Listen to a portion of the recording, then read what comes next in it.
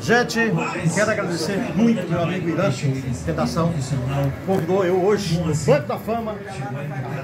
E fizemos esse programa maravilhoso, mostrando aí meu trabalho.